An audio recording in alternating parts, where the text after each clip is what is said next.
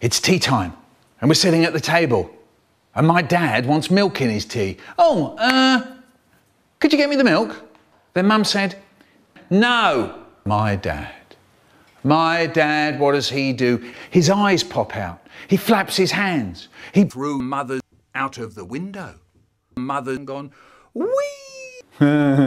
he yells, You can't catch me. I'm Haribo. I'm the fastest pizza in Holland. My dad ran and ran and ran and ran and ran and ran and, and flew into the air. We never saw him again. I don't think it's funny.